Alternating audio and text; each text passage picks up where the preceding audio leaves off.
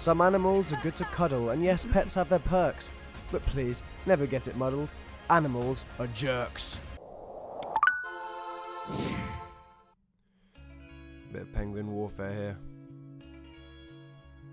Psychological tactics. Here are a couple of teen anteaters who just had the Xbox remote confiscated. It was him who did it. Oh, you see that? Did you see that? What are you doing? Oh, Mum, so unfair. There's a mental goat who decided to chase Brazilian men for kicks, for shits and giggles, for kicks. He de- decks this woman. Some pretty sweet ninja moves here.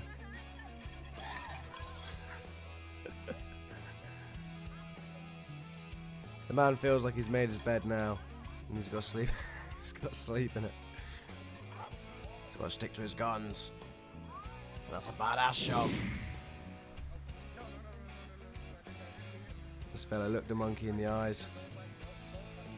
Never something you should do. He tries to reason with the monkey, and, and if you ever get into an altercation with a monkey, best is to tie it up with logic, preferably in English. It's nice to see a dog fighting back to the, to the scourge of the cats for once. But the cats are tenacious creatures. Good, Mason. You're being such a good boy. Just wait. This could be, this could be that same cat cookie? actually. Its cousin getting revenge. It's a giant pickle toy here. she is in a pickle now. This house is such a mess. Oh, I'm doing all the washing up around here. I mean, that's rule number one, really, isn't it? Do not leave a dirty phone around a house proud raccoon. That's what we learnt today. But also, don't turn your back on, on a raccoon who likes doing the washing up. Because they could get up to anything.